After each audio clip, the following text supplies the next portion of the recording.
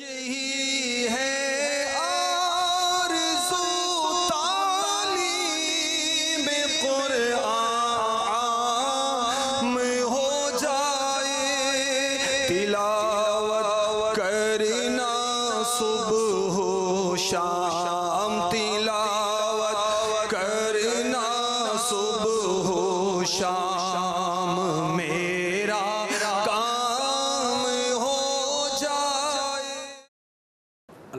للہ رب العالمین والصلاة والسلام على سید المرسلین.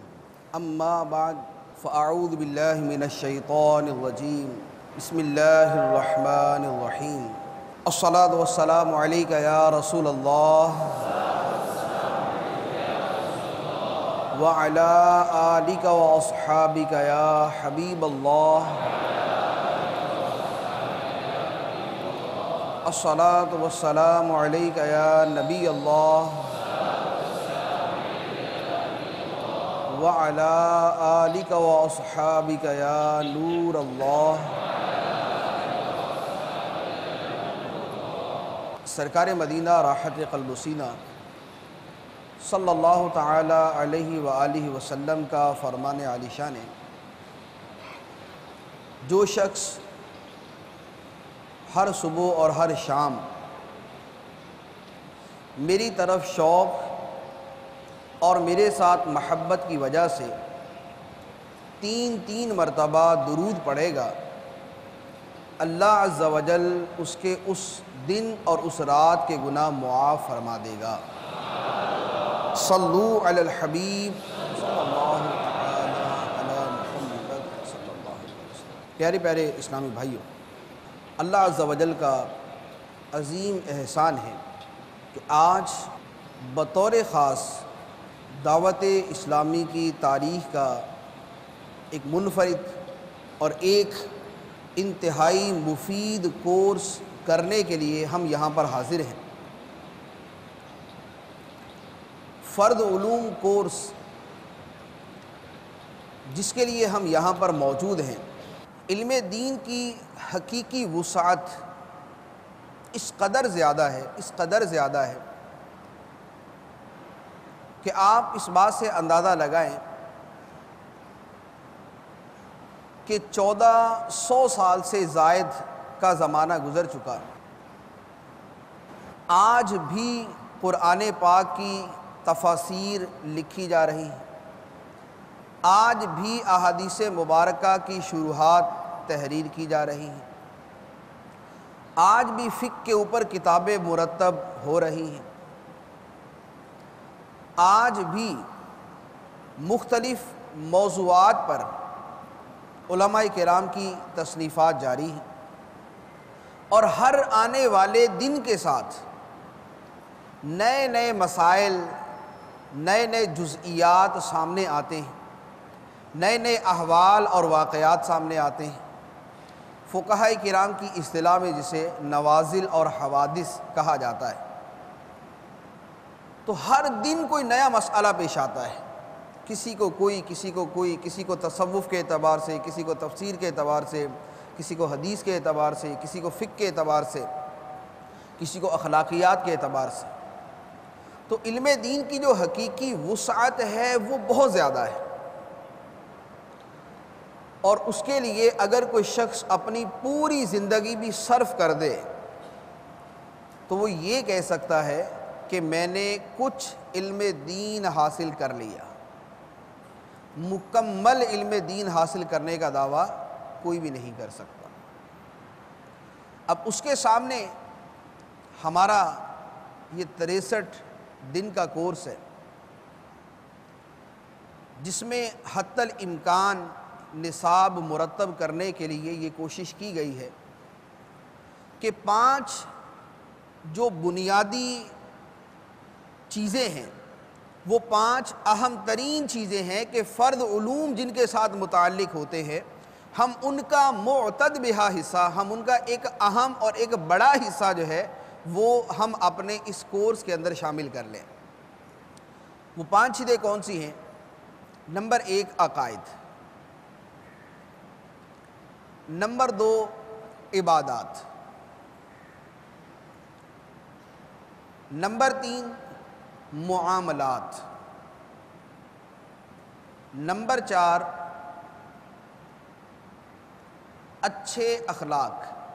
اور نمبر پانچ، مہلکات یعنی ہلاک کر دینے والے گناہ۔ یہ پانچ وہ بنیادی ابواب ہیں، یہ پانچ وہ بنیادیں ہیں کہ جن کے اوپر فرد علوم کا دار و مدار ہوتا ہے۔ عقائد سے متعلق، عبادات سے متعلق، معاملات کے بارے میں۔ اچھے اخلاق جس میں صبر ہے، شکر ہے، توکل ہے، رضا بالقضا ہے اور یہ چیزیں آتی ہیں۔ اور مہلکات مہلکات میں پھر ظاہری اور باطنی دونوں قسم کے گناہ شامل ہیں۔ حسد، بغض، تکبر، کینہ بھی اس میں ہے۔ اور اس کے علاوہ جو گناہ کبیرہ کے بارے میں بزرگان دین نے کتابیں تصریف کی ہے وہ وہ گناہ بھی اس میں شامل تو ہمارا یہ کورس انشاءاللہ عز و جل حت الامکان ضروری سے ضروری باتوں پر مشتمل ہوگا۔ علم دین حاصل کرنے کے لیے ہم یہاں پر حاضر ہیں اور علم دین کے فضائل بکثرت ہم سنتے بھی ہیں، سناتے بھی ہیں، پڑھتے بھی ہیں۔ اللہ عز و جل نے ارشاد فرمایا، انما یخش اللہ من عبادہ العلماء. اللہ سے اس کے بندوں میں صرف علماء ہی ڈرتے ہیں۔ اللہ سے اس کے بندوں میں صرف علماء ہی ڈرتے ہیں۔ یہ قرآن پاک سورہ فاتر کی آیت مبارکہ ہے مزید ارشاد فرمایا یرفع اللہ الذین آمنوا منکم والذین اوتوا العلم درجات. اللہ تبارک و تعالی تم میں ایمان والوں کے اور علم والوں کے درجات بلند فرمائے گا۔ تم میں ایمان والوں کے اور علم والوں کے درجات بلند فرمائے گا۔ اور ایک اور آیت مبارکہ سورہ زمر میں ارشاد فرمایا، قل حل يستوي الذين يعلمون والذين لا يعلمون؟ اے محبوب، تم فرما دو، کیا علم والے اور بے علم برابر ہیں؟ کیا علم والے اور بے علم برابر ہیں؟ یقیناً نہیں، علم والوں کے درجات اللہ تبارک و تعالیٰ نے بلند فرمائے۔ احادیث مبارکہ بھی اس موضوع پر بے شمار ہیں۔ صرف ایک دو احادیث مبارک عرض کرتا ہوں۔ جیسے ہم یہاں پر علم حاصل کرنے کے لیے اپنے گھر سے نکل کر آئے۔ سرکار دو عالم صلی اللہ تعالیٰ علیہ وسلم نے ارشاد فرمایا، جو شخص علم حاصل کرنے کے لیے اپنے گھر سے نکلا، جب تک وہ واپس اپنے گھر نہیں پہنچتا، وہ اللہ عز و جل کی راہ میں ہے۔ وہ اللہ عز و جل کی راہ میں ہے۔ تو ہم جتنی دیر یہاں پر موجود ہیں، اتنی دیر تک ہم اللہ عز و جل کی راہ میں ہیں اور اللہ تبارک و تعالیٰ کی راہ میں نکلنے کے جو فضائل ہیں، ان میں بہت سے فضائل ہمیں حاصل ہوں گے۔ پھر یہاں پر ہم سیکھنے کے لیے موجود ہیں۔ بعض اوقات ہمیں کوئی بات سمجھ آتی ہے، بعض اوقات نہیں آتی۔ کئیوں کو پریشانی ہوتی ہے کہ یار ہمیں سمجھ تو نہیں آئی، کیا بیان ہوا؟ تو جن کو سمجھ آ گئی ان کی بھی فضیلت۔ اور جن کو سمجھ نہ آئی، اللہ تبارک و تعالیٰ نے ان کو بھی فضیلت عطا فرمائی۔ سرکار دو عالم صلی اللہ تعالیٰ علیہ وآلہ وسلم نے ارشاد فرمایا کہ جس نے علم حاصل کرنے کے لیے کوشش کی اور اس نے علم حاصل کر لیا، اسے دو اجر ملیں گے۔ اسے دو اجر ملیں گے۔ اور جو علم حاصل کرنے کے لیے کوشش کرے اور علم حاصل نہ کر سکے، فرمایا ثواب سے وہ بھی محروم نہ رہے گا۔ اللہ تبارک و تعالیٰ اسے بھی ایک اجر عطا فرمائے۔ تو جسے نہ بھی سمجھ آئے، لیکن وہ علم کے لیے کوشش کرنے کے لیے نکل پڑا اور علم کے لیے کوشش کرتا ہے، اللہ تبارک و تعالیٰ اسے بھی محروم نہیں چھوڑتا۔ ہمارا علم دین حاصل کرنا چونکہ ایک بہت بڑی اور ایک عظیم عبادت ہے۔ تو ہم اس عبادت کا ثواب جتنا زیادہ بڑھا سکیں، جتنا زیادہ اس کے ثواب میں اضافہ کر سکے ہمیں اتنا اس کے ثواب میں اضافہ کرنا چاہیے۔ اور ثواب میں اضافہ کرنے کی بنیاد نیتوں میں اضافہ کرنا ہے۔ ہماری نیتیں جس قدر زیادہ ہوں گی، ہمارا ثواب اتنا ہی زیادہ ہوگا۔ اور علم النیات نیتوں کا علم۔ یہ ایک باقاعدہ پورا باب ہے۔ فقہی کتابوں کے اندر اس کے اوپر بڑا مفصل کلام ہوتا ہے۔ انما الاعمال بالنیات اور الامور بمقاصدها یہ دو بطور خاص عنوان ہوتے ہیں جس کے تحت نیتوں کا بیان کیا جاتا ہے اور سینکڑوں صفحات اس کے اوپر لکھے جاتے ہیں۔ اور بیسیوں جگہ ایسی ہیں کہ جہاں پر نیت کا ہونا فرض ہے۔ ثواب کے لیے تو تقریباً اکثر و بیشتر نیت کا ہونا ضروری ہے۔ اور بہت سے اعمال وہ ہیں کہ جن اعمال کے لیے نیت کا ہونا ضروری ہے۔ جیسے روزے کی نیت نہ کی اور سارا دن بھوکے پیاسے رہے۔ روزہ نہیں ہوگا۔ سارا دن بھوکے پیاسے رہے لیکن روزے کی نیت نہ کی تو روزہ نہیں ہوگا۔ نماز کے سارے افعال ادا کر لیے۔ نیت نہ کی۔ نماز نہیں ہوگی۔ زکوٰۃ کی رقم اڑائی فیصد ہے۔ اس کی جگہ ستر فیصد رقم اللہ عز و جل کی راہ میں دے دی۔ زکوٰۃ کی نیت نہیں کی تو زکوٰۃ ادا نہ ہو۔ حج کے سارے افعال ادا کر لیے۔ اگر احرام کی نیت ہی نہیں ہے اور اگر نکلتے ہوئے حج کی نیت ہی نہیں کی تو کئی افعال وہ ہیں کہ جو اصلاً ادا نہ ہوں گے۔ تو یہ نیت کے بارے میں ایک بنیادی سی چیز عرض کی ہے کہ بیسیوں اعمال ایسے ہیں کہ جن کے جہاں پر نیت کے بغیر وہ عمل ہی وجود میں نہیں آتا۔ ہمارا علم دین سیکھنا یہ عظیم عبادت اور نیت اعمال میں سب سے پہلا عمل ہے۔ نیت اعمال میں سب سے پہلا عمل۔ ہم علم دین حاصل کرنے کے لیے کیا کیا نیتیں کر سکتے ہیں؟ نمبر ایک، علم دین کا حاصل کرنا چونکہ ہمارے اوپر فرض ہے۔ ہم اس فرض کی ادائیگی کے لیے فرض علوم کورس کر رہے ہیں۔ علم دین کا حاصل کرنا چونکہ ہمارے اوپر فرض ہے، لہذا ہم اس فرض کی ادائیگی کے لیے یہ کورس کر رہے ہیں۔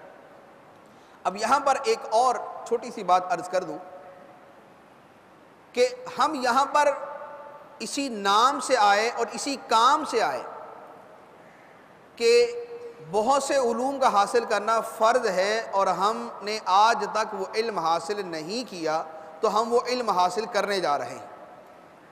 تو آج تک اس فرض سے جو غفلت رہی، آج تک اس فرض سے جو غفلت رہی جن مسائل کا سیکھنا فرض تھا وہ ہم نے نہ سیکھے، اس میں تاخیر کی، تو اس کا گناہ بھی ہمارے اوپر ہے۔ اس کا گناہ بھی ہمارے اوپر ہے۔ تو سب سے پہلے تو تہ دل کے ساتھ اس سے توبہ کرنی ہے کہ اے اللہ عز و جل، آج سے پہلے اس فرض کی ادائیگی میں جو ہم سے کوتاہی ہوئی، ہم اس سے تیری بارگاہ میں توبہ کرتے ہیں۔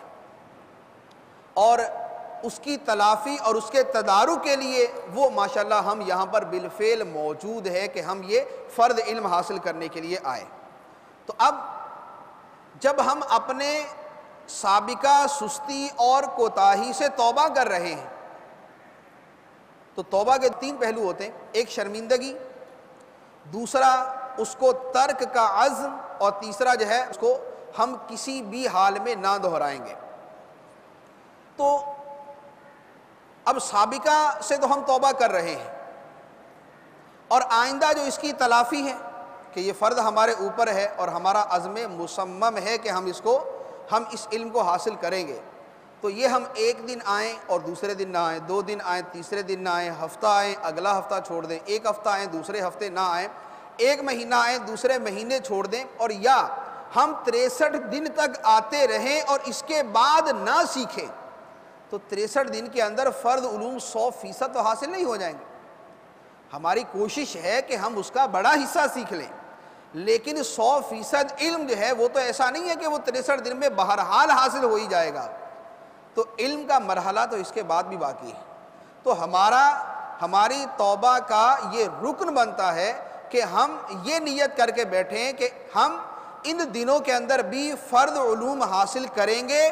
اور مزید ہم ساری زندگی کوشش کرتے رہیں گے کہ ہمیں جو شرعی مسئلہ درپیش ہوگا، ہم اسے سیکھیں گے اور سیکھ کر اس پر عمل کریں گے۔ ورنہ اگر ہم نے اپنے سیکھنے کا سلسلہ موقوف کر دیا، تو ہمارا وہ فرد وہیں پر آ کر رک گیا۔ کیونکہ شرعی مسئلہ جو بیان کیا گیا، جو کتابوں میں لکھا، جو اعلیٰ حضرت علامہ نے بیان فرمایا، وہ یہ کہ ہر شخص پر اس کی موجودہ ضرورت کے مسائل سیکھنا فرض۔ یہ آپ لکھ لیں کہ ہر شخص پر اس کی موجودہ ضرورت کے مسائل سیکھنا فرض۔ اب موجودہ ضرورت تو آپ کی ابھی تو ساری ضرورت، ضروریات موجود نہیں ہیں آپ کی زندگی پڑی ہے، آپ کو ساری زندگی جو ہے وہ ضرورت، ضروریات پیش آئیں گی۔ زندگی کا کوئی مرحلہ آئے گا جہاں پر نکاح کا معاملہ ہے، کوئی مرحلہ آئے گا، خاندان کے اندر طلاق کا مسئلہ ہو جاتا ہے، کوئی مرحلہ آتا ہے، آدمی کاروبار کرتا ہے یا کہیں ملازمت کرتا ہے، ملازمت میں اس کو کوئی صورت پیش آ جاتی ہے، تو یہ جو نت نئی صورتوں کا پیش آنا ہے، یہ ہے وہ حالتیں موجودہ جس کا مسئلہ سیکھنا فرض۔ حالت موجودہ جس کا مسئلہ سیکھنا فرض ہے، وہ وہ ہے جو زندگی میں آدمی کو بالفعل پیش آتی رہے گی۔ تو گویا مسائل کی دو دو قسمیں ہیں۔ ایک قسم وہ ہے کہ جو بہرحال پیش آتی ہی آتی ہے۔ جیسے نماز سب پہ فرض۔ تو نماز کے بارے میں ہم یہ تو نہیں کہیں گے کہ جب ہمارے اوپر نماز فرض ہوگی تو اس کا مسئلہ سیکھنا فرض ہوگا۔ تو نماز تو بالفعل ہر بالغ پر فرض ہے۔ تو اس کے مسائل سیکھنا تو اس پر ہر وقت لازم ہوا۔ اب یہ ہوتا ہے کہ نماز میں کوئی نیا مسئلہ پیش آ جاتا ہے۔ اب وہ جو نئی صورت پیش آئی کہ نماز میں کوئی ایسا فیل ہو گیا، اب اس کی سمجھ نہیں آ رہی کہ نماز ہوئی یا نہ ہوئی۔ تو اب یہ ہے حالت موجودہ۔ اس حالت موجودہ کا مسئلہ سیکھا جائے گا۔ تو کچھ مسائل وہ کہ جو ہر وقت ہمارے اوپر لازم ریاکاری کے مسائل۔ اس کا کچھ نہ کچھ بنیادی علم حاصل کرنا تو فرض اس کے بغیر تو ریاکاری آ ہی جائے گی۔ اور پھر اس کے بعد ایک مرحلہ وہ آئے گا کہ کبھی ہمیں یہ شبہ پڑے گا کہ کیا یہ میرا کرنا ریاکاری تو نہیں اب یہ ہوگی حالت موجودہ۔ اب اس کا جدا گانا مسئلہ سیکھا جائے۔ تو یوں ہر باب کے اندر یہ مسائل کی تقسیم ہے۔ تو میں عرض یہ کر رہا تھا کہ ہمارا یہ فرد علوم کورس جو ہے، اس پر فرد علوم کی انتہا نہیں ہے۔ ہمارے جو فرد علوم ہیں، وہ ساری زندگی ہمارے ساتھ چلتے رہیں گے۔ حتیٰ کہ جیسے آپ کو ایک مسئلہ عرض کروں وسیعت آدمی عام طور پہ کب کرتا ہے؟ مرتے وقت۔ وسیعت آدمی مرتے وقت کرتا ہے۔ اب وسیعت میں بھی فرد صورت موجود ہے کہ کس کام کے لیے وسیعت کرنا جائز ہے؟ اور کس کام کے لیے وسیعت کرنا ناجائز ہے؟ کن ورثہ کے لیے وسیعت کی جا سکتی ہے اور کن ورثہ کے لیے وسیعت نہیں کی جا سکتی؟ بہت سے لوگ جو ہے وہ اپنے آخری ایام میں اپنا مال تقسیم کرتے ہیں، اپنی اولاد میں زندگی میں مال تقسیم کر دیتے ہیں۔ تو اب وہ جو زندگی میں مال تقسیم کرتے ہیں، تو اب زندگی میں مال تقسیم کرنے کی جائز صورت کیا ہے اور ناجائز صورت کیا ہے؟ وہ سیکھنا ضروری۔ جس نے یہ تقسیم کرنی۔ تو یہ آپ کو ایک مثال دی ہے کہ زندگی کے آخری لمحات تک مسائل کا سیکھنا اور مسائل کے بارے میں جو ہے وہ معلومات حاصل کرتے رہنا ضروری ہے۔ اب ابھی ہم یہاں بیٹھے ہوئے، ہمیں نہ مال تقسیم کرنا، نہ ہمیں اس مسئلے کی ضرورت کہ ہم یہ مسئلہ سیکھیں۔ لیکن جب یہ مسئلہ پیش آئے گا اور اس پر ہم نے عمل کرنا ہوگا، اس وقت یہ مسئلہ سیکھنا ہمارے اوپر ضروری ہو جائے گا۔ تو علم کا جو باب ہے، یہ ہمیشہ کھلا رہے گا۔ حصول علم کا باب ہمیشہ کھلا رہے گا۔ اور ہم اپنی زندگی میں جب بھی کوئی مسئلہ پیش آئے گا، اس کے بارے میں علم دین حاصل کر کے اس پر عمل کرنے کی کوشش کریں گے۔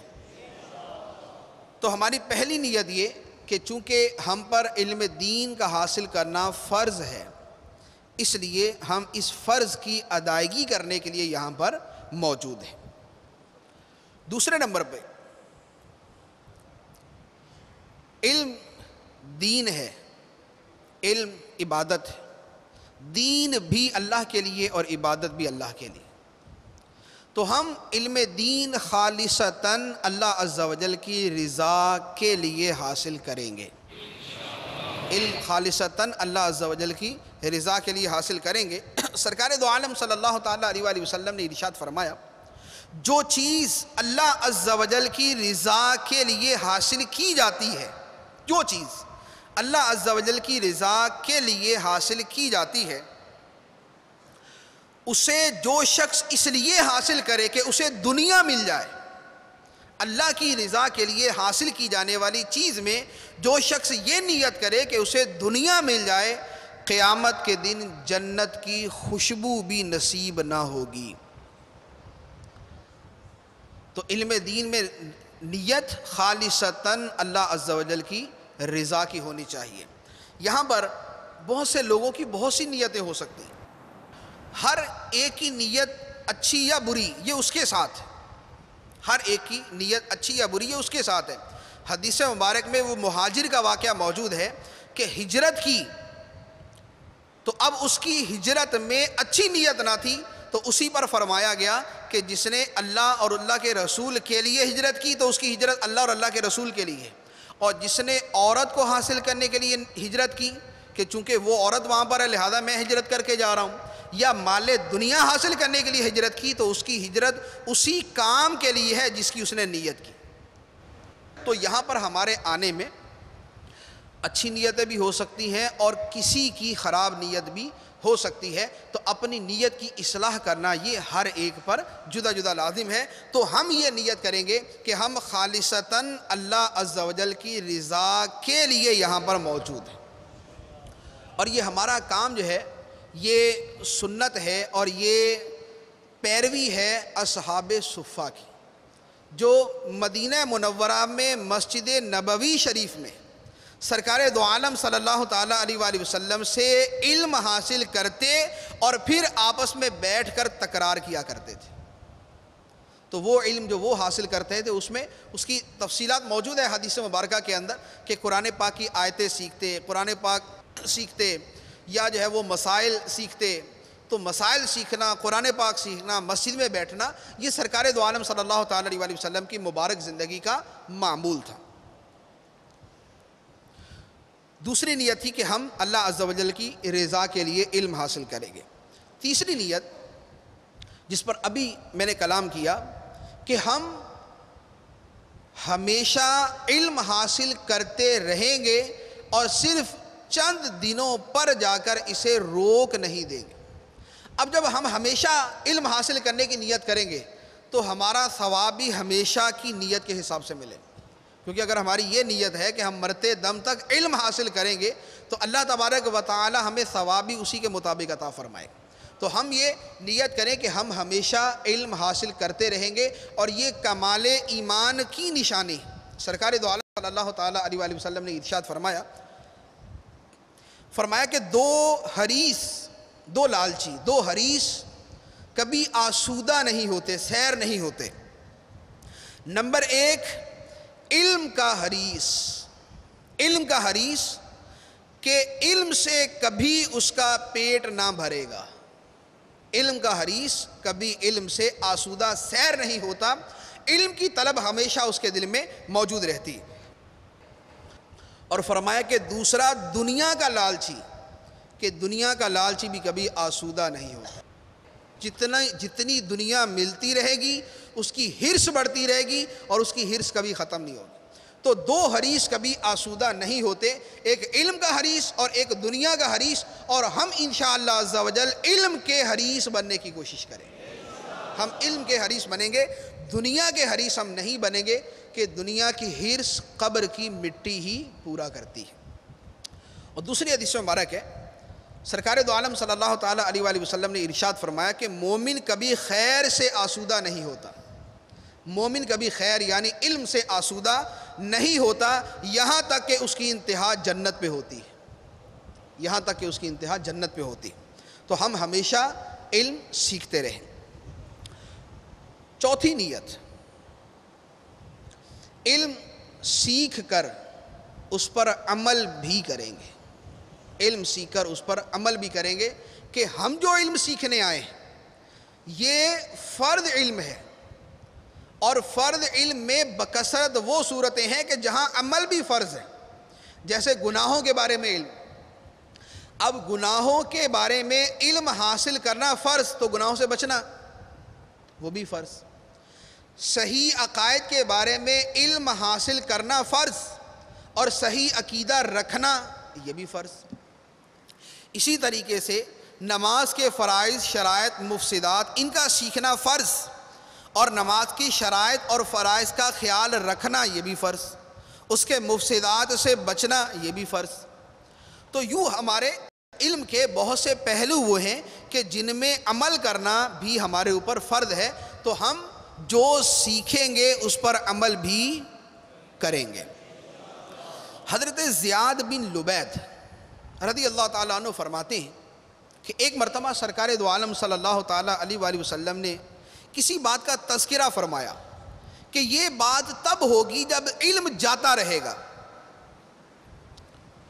تو زیاد بن لبید فرماتے ہیں کہ میں نے عرض کیا، یا رسول اللہ صلی اللہ علیہ وسلم، یہ کیسے ہوگا کہ علم ہی جاتا رہے گا؟ کیونکہ ہم قرآن پڑھتے ہیں، اپنی اولاد کو پڑھائیں گے۔ ہماری اولاد اپنی اولاد کو پڑھائے گی۔ وہ اپنی اولاد کو پڑھائیں گے۔ یوں یہ علم سیکھنے کا سلسلہ قیامت تک چلتا رہے گا تو علم چلا جائے گا، یہ کب ہوگا؟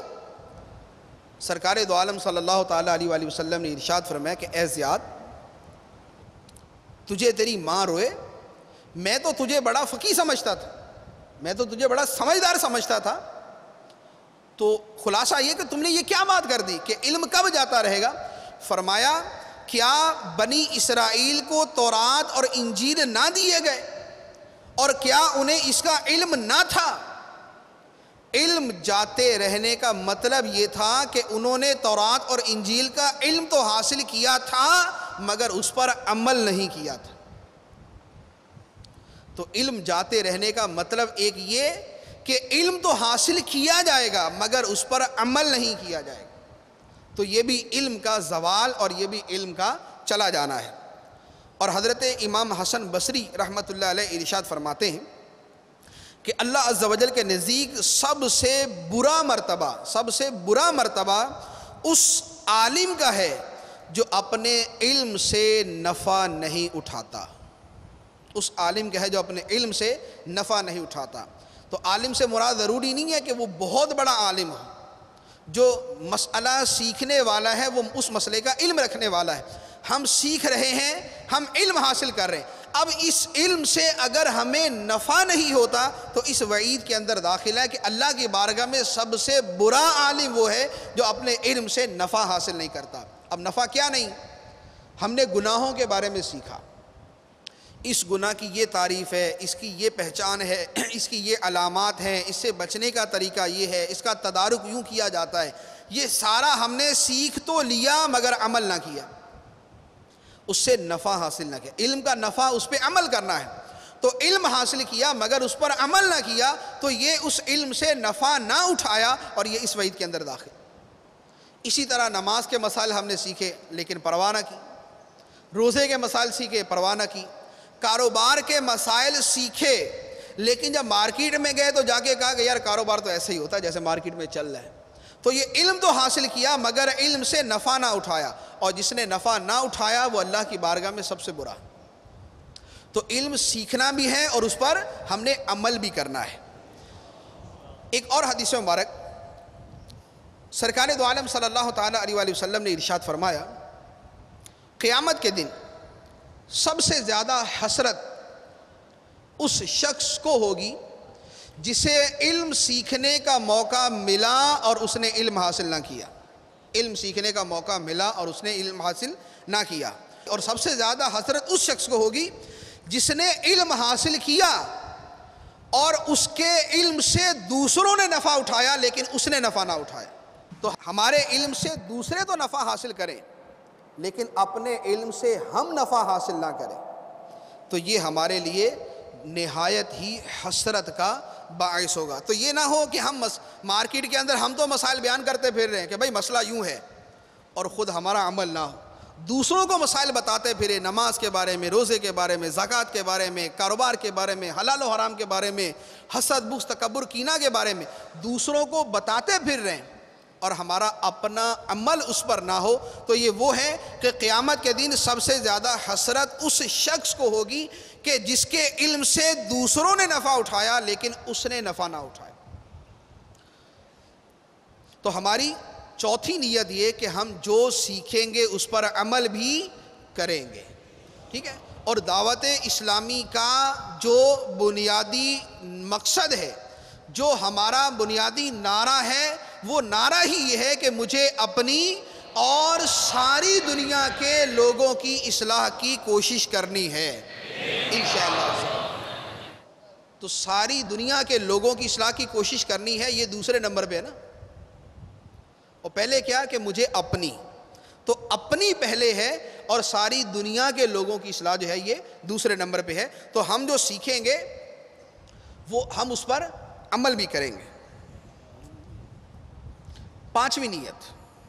یہ ایک ثواب کی نیت ہے کہ ہم علم حاصل کریں گے تاکہ اس کے ذریعے دین کو زندگی ملے۔ دین کو زندگی ملے۔ کیونکہ جب جہالت بڑھتی ہے تو دین مردہ ہوتا ہے۔ اور جب علم بڑھتا ہے تو دین زندہ ہوتا ہے۔ دین کی زندگی کیا ہے؟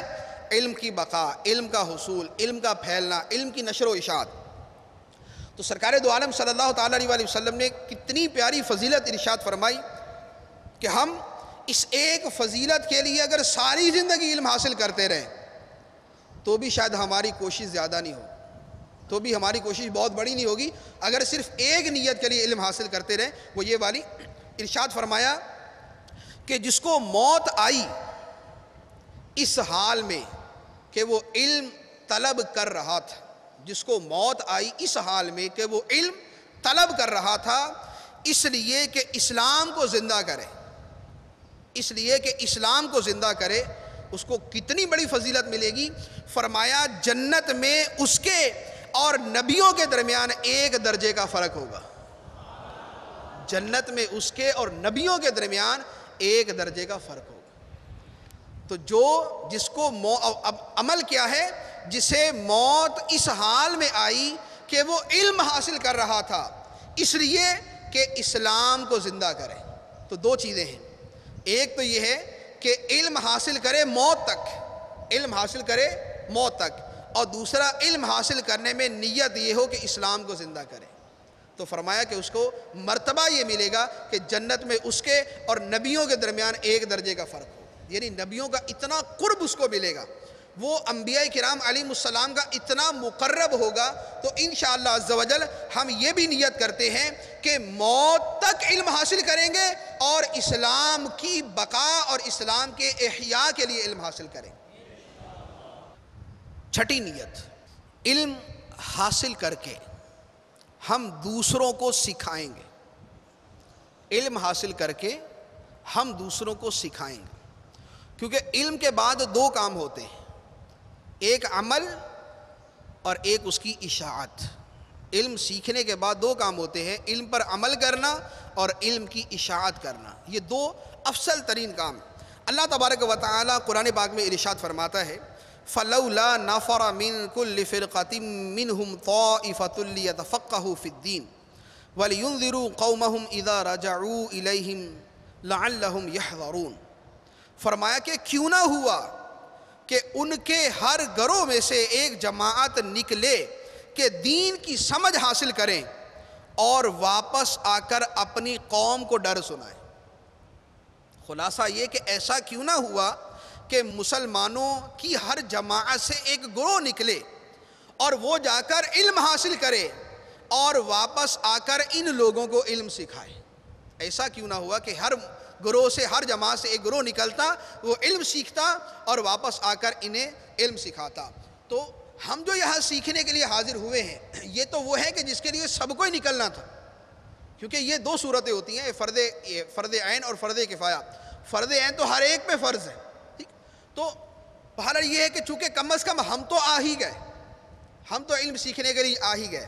تو اب آیت میں کیا فرمایا تھا کہ علم سیکھیں اور واپس آ کر اپنی قوم کو سکھائیں۔ ولی درو قوم ہوں ادا اپنی قوم کو ڈرائیں جب وہ واپس ان کی طرف لوٹ کر آئیں۔ تو ہم علم سیکھنے کے لیے یہاں پر موجود ہیں اور اس آیت پر عمل کرتے ہوئے واپس جا کر اپنی قوم کو بھی سکھائیں گے۔ ٹھیک ہے؟ تو قوم سے مراد یہاں پر یہ ہے کہ جو ہمارے متعلقین ہیں، جیسے جو کاروباری حضرات ہیں، تو وہ اپنے جو ہے وہ کاروباری دائرہ کار کے اندر، اپنے اس ایریا کے اندر ہم اپنے خاندان میں جائیں گے تو اپنے خاندان کے اندر علم سکھانے کی کوشش کریں۔ اسی طرح ہماری ایک دوستوں کی گیدرنگ ہے تو ہم اپنی اس گیدرنگ کے اندر علم سکھانے کی کوشش کریں گے۔ اگر ہم ذمہ دار ہیں، دعوت اسلامی کے ذمہ دار ہیں، تو ہم اپنے جو ساتھ والے اور اپنے ماتحت کام کرنے والے ہیں، ہم ان کو جا کے علم سکھائیں گے۔ اسی طرح جو کسی دفتر میں ہے یا جو کسی بزنس کے اندر کسی اپر لیول پر ہے تو وہ اپنے نیچے والوں کو جا کے علم سکھائے گا۔ تو یوں ہم اس آیت پہ عمل کریں گے کہ جہاں پر ہم اس علم کو پھیلا سکیں گے، ہم وہاں پر جا کر یہ علم پھیلائیں گے۔ ٹھیک ہے؟ تو علم سیکھ کر ہم دوسروں کو بھی سکھائیں گے۔ اور بطور خاص اپنے بیوی بچوں کو سکھانا، یہ تو ہمارے فرائض میں سے قرآن پاک میں ارشاد فرمایا یا ایوہ الذین آمنو قو انفسکم و اہلیکم نارا۔ اے ایمان والو، جہنم کی آگ سے بچاؤ اپنے آپ کو اور اپنے گھر والوں کو۔ اپنے آپ کو اور اپنے گھر والوں کو۔ تو ہم نے خود علم سیکھنا ہے، خود سیکھ کر اپنے آپ کو بچانا ہے۔ اور اپنے گھر جا کے سکھانا ہے اور اپنے گھر والوں کو بچانا ہے۔ ٹھیک ہے؟ تو ہم علم سیکھ کر دوسروں کو بھی سکھائیں گے۔ ساتویں نیت۔ اس میں یہاں پر بہار شریعت میں ایک مسئلہ لکھا ہے کہ ایک آدمی اس لیے علم حاصل کرے کہ وہ عمل کرے گا اور دوسرا اس لیے حاصل کرے کہ عمل بھی کرے گا اور دوسروں کو بھی سکھائے گا۔ فرمایا، اس دوسرے کا ثواب پہلے والے سے زیادہ ہے۔ جو علم حاصل کرے کہ عمل کرے گا اور دوسرا اس لیے حاصل کرے گا کہ عمل بھی کرے گا اور دوسروں کو بھی سکھائے گا۔ تو فرمایا کہ اس دوسرے کا ثواب پہلے سے زیادہ ہے۔ چونکہ ہم مسائل سیکھیں گے، عقائد بھی سیکھیں گے، اور عبادات کے بارے میں، مسائل کے بارے میں، معاملات کے بارے میں، اخلاقیات کے بارے میں۔ تو اب یہ سیکھنے کے بعد، بعض اوقات تو اس سیکھنے میں نیت خراب آ جاتی ہے اور بعضوں کا نیت خراب نہیں ہوتی، لیکن جب علم آ جاتا ہے تو بندہ خراب ہو جاتا ہے۔ وہ کس طرح؟ کیونکہ ہر شے میں اچھا اور برا پہلو دونوں طرح موجود ہوتے ہیں آدمی کی نیت کی وجہ سے۔ اب وہ کیا کہ ہم نے علم سیکھ لیا۔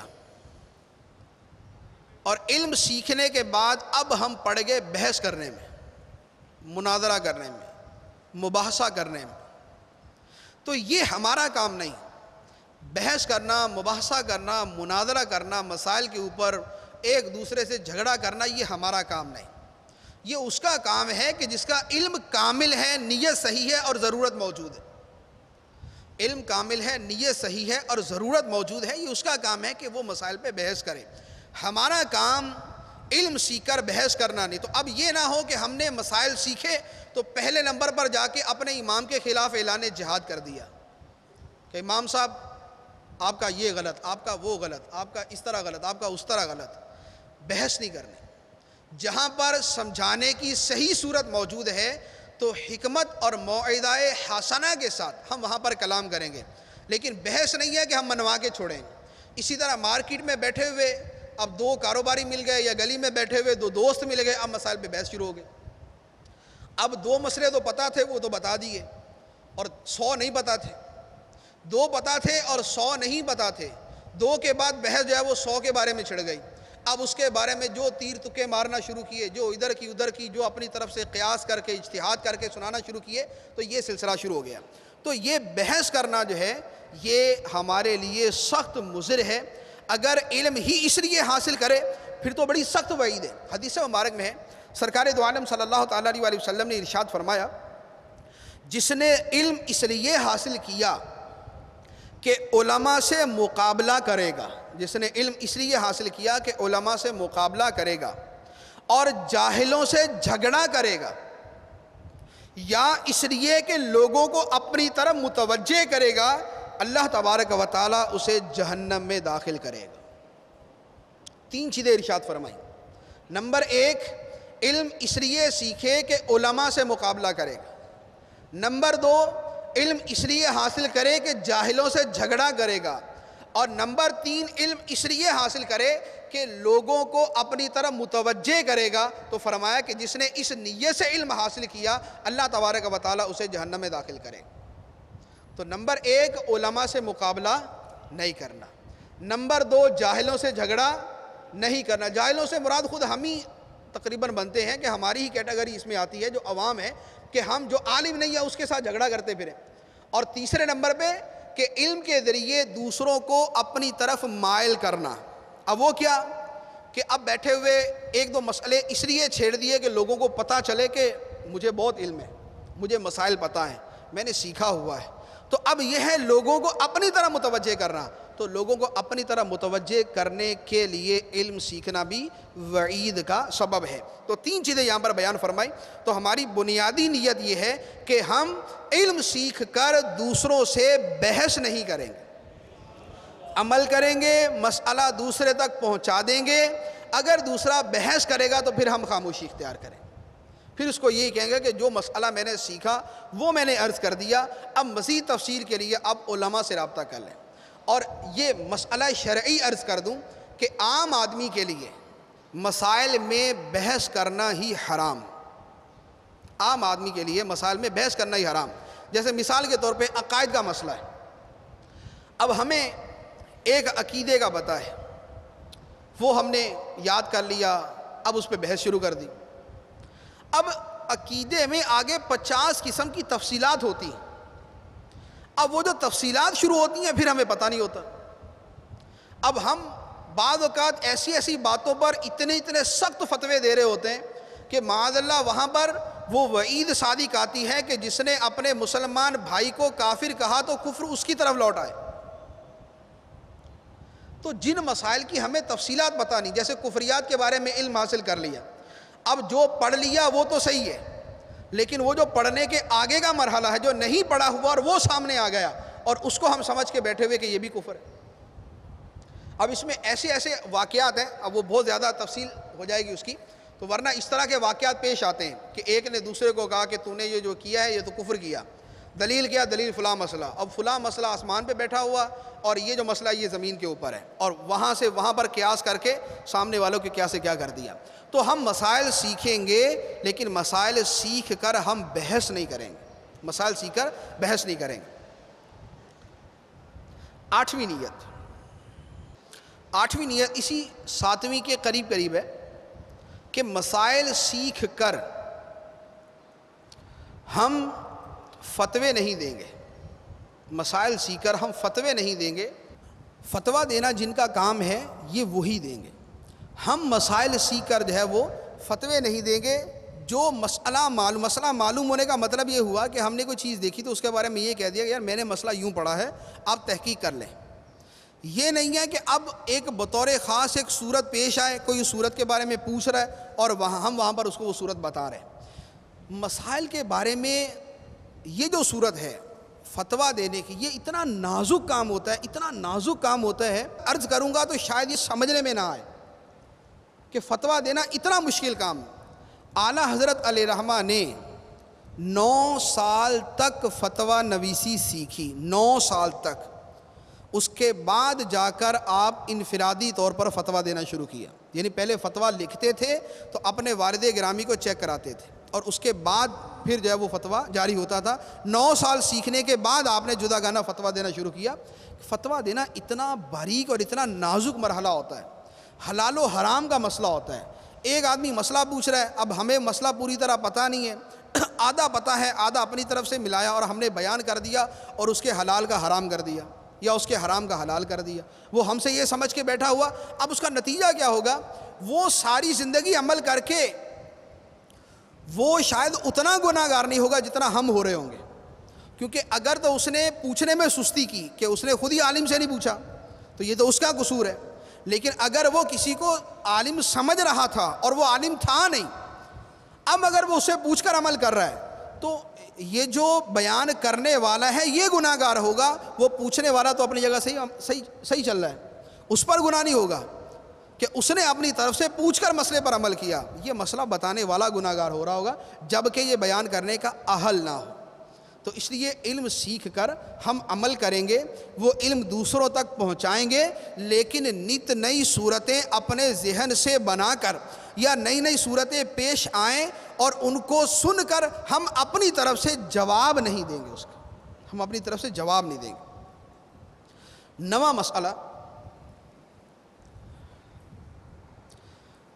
یہ کورس کر کے یا اس کے علاوہ علم حاصل کرتے ہوئے ہم علماء سے بے نیاز نہیں ہوں گے۔ علماء سے بے نیاز نہیں ہوں گے۔ حدیث مبارک میں ہے، فرمایا کہ علماء کی مثل یہ ہے، جیسے آسمان میں ستارے، جن سے خشکی اور سمندر کی تاریکیوں میں راستہ پتہ چلتا ہے۔ اگر ستارے مٹ جائیں تو راستہ چلنے والے بھٹک جائیں گے۔ تو علماء سے بے نیازی نہیں ہوگی۔ یہ نہیں ہے کہ ہم نے سیکھ لیا تو اب ہم کیا کہ ہم تو پورے ہو گئے۔ اب ہمیں سیکھنے کی ضرورت نہیں ہے۔ علماء سے مسائل پوچھنے کی ساری زندگی ضرورت پڑے گی۔ ساری زندگی ضرورت۔ آپ یہ تریسٹھ دن کی بجائے چھ ہزار تین سو دن بھی کورس کر لیں، اس کے بعد بھی آپ کو علماء سے پوچھنے کی ضرورت پڑے گی۔ تو اس لیے ہم یہ سیکھنے کے بعد علماء سے مستغنی نہیں ہوں گے، بلکہ جو اہل حق، صحیح العقیدہ، مستند علماء ہے اپنے پیش آنے والے مسائل ان سے پوچھتے رہیں۔ اپنے پیش آنے والے مسائل ان سے پوچھتے رہیں۔ دسواں ایک اہم کام ہے جو ہمارے تریسٹھ دن کو محیط ہے، وہ یہ ہے کہ ہم یہاں پر لکھ رہے ہیں، سن رہے ہیں۔ اب بعض اوقات کیا ہوتا ہے کہ ہماری توجہ تھوڑی بہت ادھر ادھر ہو جاتی۔ لکھنے لگتے ہیں تو اب سننے والی توجہ ہماری جو ہے وہ ہٹ جاتی ہے۔ تو اب یہ نہ ہو کہ ہم مسئلہ بیان کچھ اور کیا جائے اور ہم سمجھے ہوئے کچھ اور ہوں۔ مسئلہ بیان کچھ اور کیا جائے اور ہم سمجھے ہوئے کچھ اور ہوں تو اس کا علاج ضروری ہے۔ تو اب اس کا حل یہ ہے، جس کے لیے ہو سکے وہ یہ کرے کہ آپ، ماشاءاللہ بہت سے اسلامی بھائی وہ ہوتے ہیں کہ جو آپس کے اندر جو جو اکٹھے آتے ہیں، پانچ پانچ، چھ چھ، آٹھ آٹھ، دس دس ایک مسجد سے، ایک حلقے سے، ایک علاقے سے اسلامی بھائی تشریف لائے۔ تو ان کو جب موقع ملے خواہ اس درجے کے بعد، یہ دو گھنٹے کے سیشن کے بعد، اور یا پھر شام میں یا دوپہر میں جب بھی ان کو وقت ملے، یہ اپنا لکھا ہوا اور اپنا سیکھا ہوا ایک دوسرے سے تکرار کریں۔ کہ پانچ اسلامی بھائی یا دو اسلامی بھائی یا چھ اسلامی بھائی بیٹھ جائیں اور آپس میں کریں کہ بھئی آج ہم نے جو سیکھا ہے، اس کی دہرائی کر لیں۔ پہلا مسئلہ یہ سیکھا، دوسرا یہ سیکھا۔ اب وہ ساتھ والا بول دے گا، نہیں، دوسرا نہیں، یہ تیسرا تھا، دوسرا وہ تھا۔ وہ تم سے رہ گیا۔ اب وہ دوسرا بتا دے گا۔ اب وہ تیسرا یہ بتائے گا، چوتھا کوئی اور بتا دے گا، پانچواں کوئی اور بتا دے گا۔ پھر اس میں ایک تو یہ ہے کہ سارے کے سارے مسئلوں کی دہرائی ہو جائے گی، کوئی رہ نہیں جائے گا۔ اور دوسرا یہ ہوگا کہ بعض اوقات ایک نے مسئلہ ہی کچھ اور لکھ لیا ہو، کہ مسئلہ بیان کچھ اور کیا گیا اور اس نے لکھ کچھ اور لیا۔ اب وہ دوسرے نے صحیح لکھا ہوگا۔ دوسرے نے نہیں تو تیسرے نے صحیح لکھا ہوگا، تیسرے نے نہیں تو چوتھے نے صحیح لکھا ہوگا۔ تو یوں جو وہ چار پانچ آپس میں مل کر تکرار کریں گے حلقوں کے اندر، اس کا فائدہ یہ ہوگا کہ مسئلے کی پوری طرح تنقی ہو جائے گی اور وہ مسئلہ صحیح طریقے سے سارے کے سارے یاد کر لیں۔ گے تو اگر ہم یہ طریقہ اختیار کریں گے تو انشاءاللہ عزوجل ہمارا سیکھنا جو ہے، یہ نہایت مضبوط ہوگا اور ہمیں صحیح طریقے سے یاد بھی رہے گا۔ یہ دس چیزیں میں نے عرض کی ہیں۔ اب اس کے بعد ایک آخری چیز کی طرف کچھ گوش گزار کروں۔ قرآن پاک سیکھنا، اس کا کچھ حصہ سیکھنا اتنا ہی فرض ہے جتنا ہمارے لیے نماز پڑھنا فرض، جتنا ہمارے لیے روزہ رکھنا فرض، جتنا ہمارے لیے زکوٰۃ فرد ہونے کی صورت میں زکوٰۃ ادا کرنا فرض۔ وجہ یہ کہ قرآن پاک اگر صحیح طریقے سے نہ سیکھا تو اس سے خرابی کیا لازم آئے گی؟ اس کی میں آپ کو صرف دو تین مثالیں عرض کرتا ہوں۔ قرآن پاک پڑھنے کے اندر جو غلطی ہے، وہ دو طرح سے ہو سکتی، کئی طرح سے ہو سکتی ہے، لیکن دو بنیادی چیزیں یا تو اس کی حرکات بدل جائیں، اعراب بدل جائے زبر کی جگہ زیر پڑھ دیا، زیر کی جگہ جو ہے وہ ضمہ پڑھ دیا، پیش پڑھ دی۔ اور یا یہ ہے کہ مخارج صحیح طریقے سے ادا نہ ہو تو حرف بدل جائے۔ سواد کو صحیح طریقے سے ادا نہ کیا تو سین بن جائے گا۔ وا کو صحیح طریقے سے ادا نہ کیا تو ذال بن جائے گا۔ بود کو صحیح طریقے سے ادا نہ کیا تو دال بن جائے گا۔ تو یوں جو ہے سا صحیح طریقے سے ادا نہ کری تو سین بن سکتی ہے۔ سین کو صحیح ادا نہ کیا تو سا سواد دونوں میں کوئی بھی بن سکتا ہے۔ تو یہ دو طرح کی غلطیاں بہت زیادہ ہیں۔ حرکات کی غلطی اور مخارج کی غلطی۔ حرکات کی غلطی سے معنی کتنا بدل جاتا ہے۔ اب آپ یہ دیکھیں، قرآن پاک کی آیت مبارکہ ہے۔ عصا آدم ربہ عصا آدم ربہ آدم نے اپنے رب کی فرما برداری نہ کی، جو ایک خاص اس پیرائے کے اندر ہے۔ اب اس میں اگر اعراب بدل دیں، اعراب بدل کر پڑا تو مانا یہ بنا گیا کہ اللہ نے آدم کی نافرمانی کی۔ اللہ نے آدم کی نافرمانی کی۔ یعنی مانا کیا تھا اور بنا کیا اور ہوا کیوں کہ اعراب حرکات کے اندر غلطی کی۔ دوسری ایک مثال جو ابھی میں نے آیت مبارکہ پڑھی، شروع میں پڑھی تھی۔ ان نما یکش اللہ من عباد العلماء۔ اللہ سے اس کے بندوں میں علماء ہی ڈرتے ہیں۔ اللہ سے اس کے بندوں میں علماء ہی ڈرتے ہیں۔ اگر اس کا اعراب بدلا، اگر اس کا اعراب بدلا تو معنی یہ بنے گا کہ اللہ اپنے بندوں میں سے علماء سے ڈرتا ہے۔ یہ حرکات بدلنے کا نتیجہ۔ جہاں فتح پڑھنا تھا، وہاں ضمہ کر دیا، اور جہاں ضمہ پڑھنا تھا، وہاں فتح کر دیا۔ یعنی زبر کی جگہ پیش کر دی اور پیش کی جگہ زبر کر دی، تو معنی ہی بدل گیا کہ بندوں میں علماء اللہ سے ڈرتے ہیں۔ اور یہاں معنی الٹ یہ بنے گا کہ اللہ تعالیٰ اپنے بندوں میں سے علماء سے ڈرتا ہے۔ کتنا معنی تبدیل ہوا؟ اور یہ نتیجہ کس کا ہوا؟ کہ قرآن پاک صحیح طریقے سے نہ سیکھا۔ ٹھیک ہے، یہ ایک مفہوم بیان کیا ہے۔ اسی آیت کے اسی ترجمے میں اور بھی تراجم موجود ہیں، لیکن جو ایک علماء نے معنی بیان کیا وہ یہاں عرض کیا۔ اسی طرح ہم سورہ فاتحہ پڑھتے ہیں۔ سورہ فاتحہ میں ہم پڑھتے ہیں، صراط الذین انعمت علیہم۔ اے اللہ، ہمیں ان لوگوں کے راستے پر چلا جن پر تو نے انعام کیا، جن پر تو نے انعام کیا، ان کے راستے پر چلا۔ اب یہاں پر انعمت علیہم، تا پر زبر ہے۔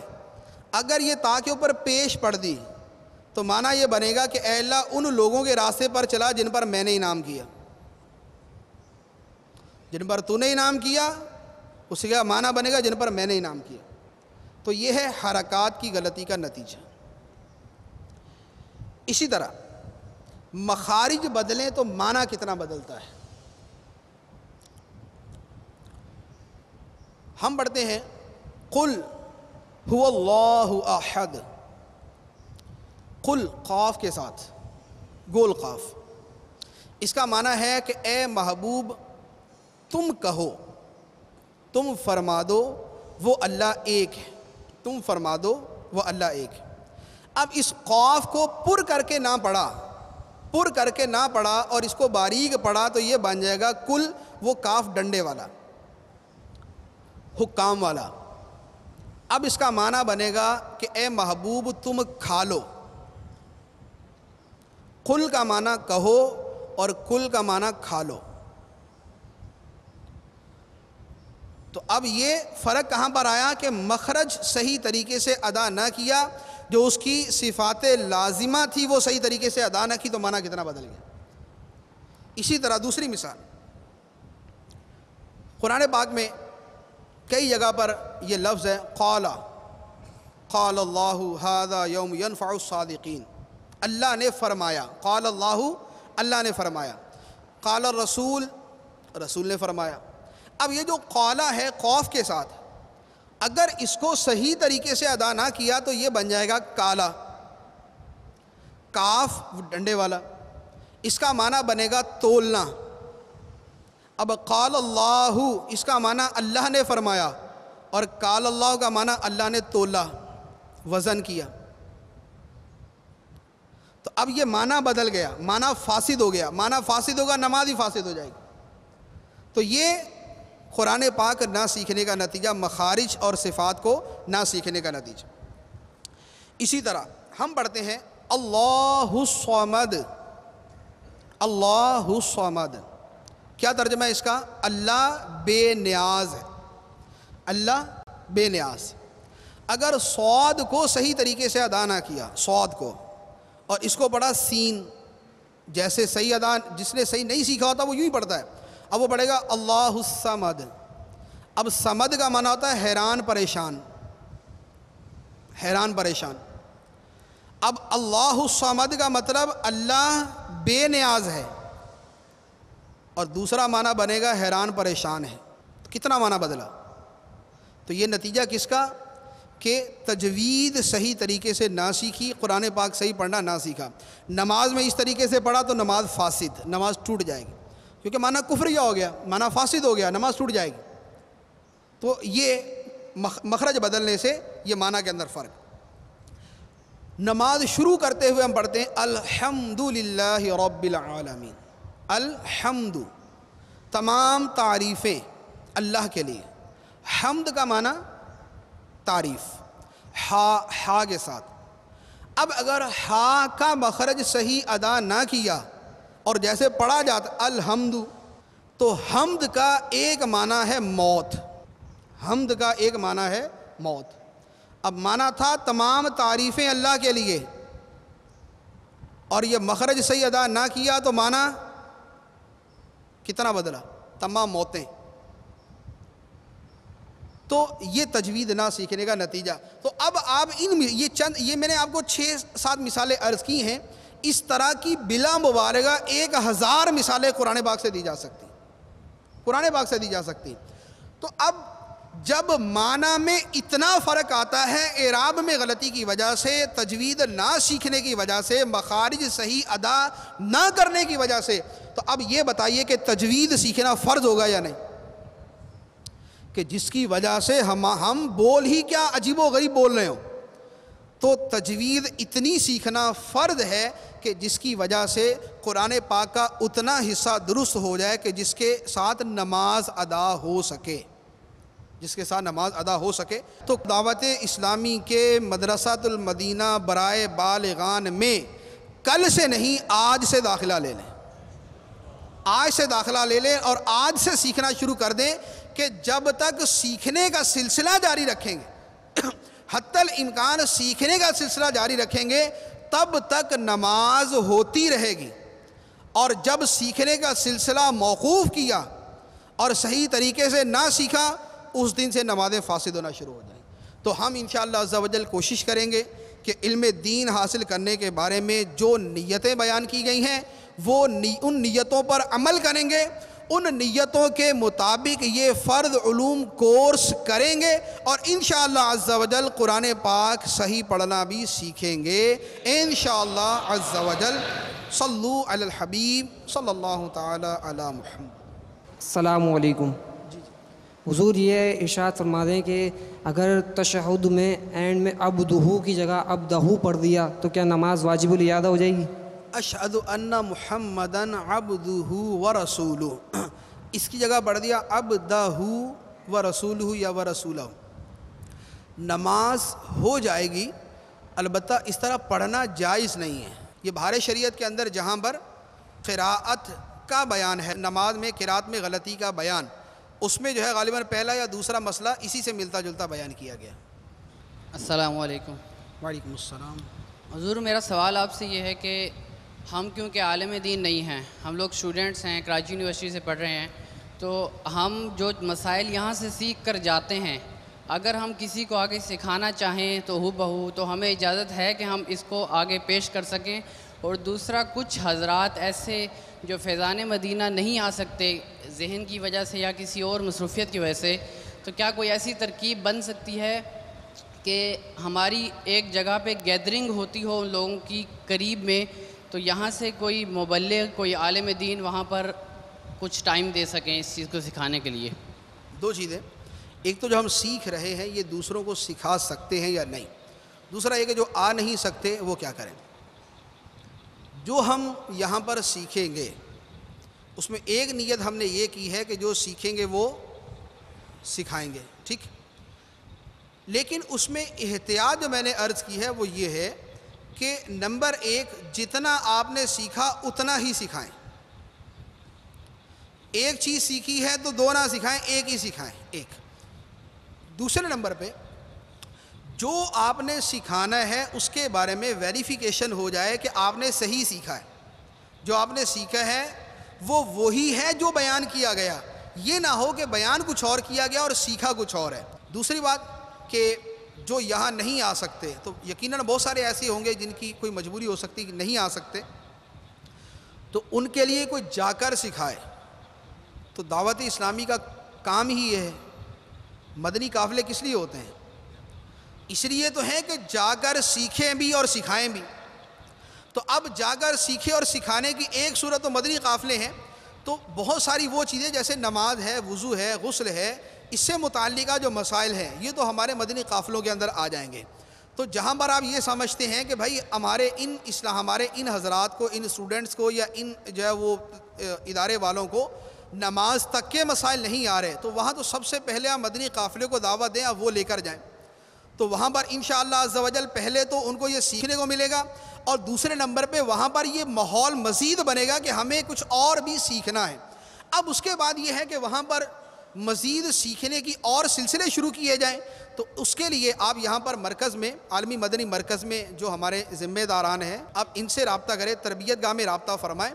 تو وہ انشاءاللہ عز و جل آپ کی صورتحال کو دیکھ کر، آپ کی ضرورت کو دیکھ کر اور اپنے طریقہ کار کو دیکھ کر انشاءاللہ اس کا کوئی نہ کوئی مناسب حل ارشاد فرما دیں گے۔ پیارے پیارے اسلامی بھائیوں، ابھی تک جو کلام ہوا یہ تمہیدی اور ابتدائی کلام تھا۔ اب انشاءاللہ عز و جل ہمارے فرد علوم کورس کا پہلا سبق عقیدے کے بارے میں شروع ہوگا۔ عقیدہ کیا ہے اور عقیدے کی اہمیت و ضرورت کیا ہے؟ الحمد لله رب العالمين والصلاة والسلام على سيد الأنبياء والمرسلين.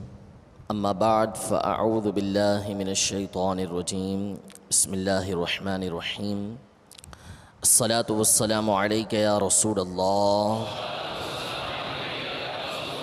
وعلى آلك وأصحابك يا حبيب الله. الصلاة والسلام عليك يا نبي الله. وعلى آلك وأصحابك يا نور الله. سرکار نامدار صلی اللہ تعالیٰ علیہ وآلہ وسلم نے نماز کے بعد حمد و ثنا اور درود شریف پڑھنے والے سے ارشاد فرمایا، دعا مانگ قبول کی جائے گی، سوال کر دیا جائے گا۔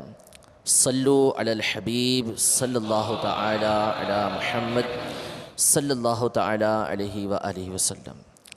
پیارے پیارے اسلامی بھائیوں الحمدللہ عز و جل، آج امیر اہل سنت بانی دعوت اسلامی حضرت علامہ مولانا الیاس ستار قادری دامت برکاتہم العالیہ کے فیضان اور دعوت اسلامی کے احسان سے آج ہم یہاں پر فرض علوم سیکھنے کے لیے حاضر ہوئے ہیں۔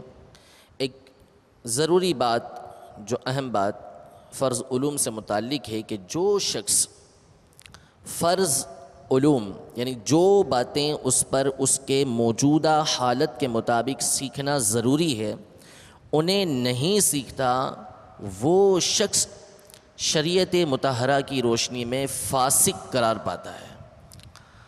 یعنی فاسق گناہ گار ہے وہ شخص اور اگر وہ فاسق مولین ہے یعنی واضح طور پر کھلے عام جو گناہ کرتا ہے، کھلے عام اس کی یہ باتیں ظاہر ہیں کہ اسے فرض علم کا نہیں معلوم، تو وہ فاسی کے مولین کہلائے گا۔ اور فاسی کے مولین وہ شخص ہوتا ہے کہ جس کے پیچھے نماز بھی مکروع تحریمی ہوا کرتی ہے۔ صدر الشریعہ بدر الطریقہ حضرت علامہ مولانا مفتی امجد علی اعظمی رحمۃ اللہ تعالیٰ علیہ، ان کی تصنیف بہر شریعت جو فرض علوم سے مالا مال ہے، آپ اس کے نوے حصے میں جو مکتبۃ المدینہ سے شائع کردہ ہے، اس کی دوسری جلد اور حصہ نوا ہے، اس میں جو تعزیر کا بیان ہے، اس میں ایک مسئلہ بیان کرتے ہیں کہ اگر کسی نے کسی مسلمان کو فاسق کہا، تو اب اس کے اس فاسق کہنے کی وجہ سے اس کے خلاف قاضی کی عدالت کے اندر دعویٰ دائر کیا گیا کہ اس نے ایک مسلمان کو فاسق کہا ہے۔